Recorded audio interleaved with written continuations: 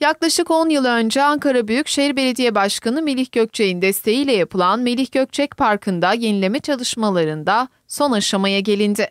Parkın önümüzdeki günlerde açılması planlanıyor. Konuyla ilgili bilgi veren Kavak Belediye Başkanı İbrahim Sarıcıoğlu, Ankara Büyükşehir Belediye Başkanı Melih Gökçek'in desteğiyle yaklaşık 10 sene önce yapılan bir parkımız var. Burası oldukça kullanışsız bir hal almıştı.